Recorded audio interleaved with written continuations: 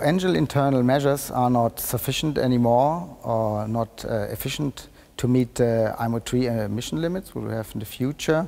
Therefore, MTU has developed an SCR solution. And this is a box which integrated all functions like urea dosing, urea preparation, sensors. It's perfectly adapted to our engines.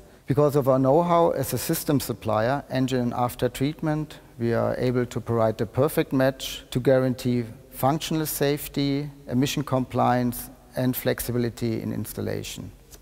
The customer will receive integrated one-stop solution, so engine plus after treatment, IMO3 ready. The system is easy to install for the customer because all functions are included, no uh, dosing piping required, everything is integrated in the box. Also, it's very easily regarding maintenance and service. For our SCR system, we use reliable technology, which is extensively tested on our engine to guarantee maximum durability and long lifetime.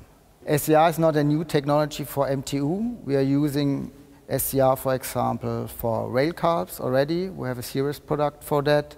SCR also is our way for genset. So we are in the final stage of the development for genset applications. So MTU knows how SCR works.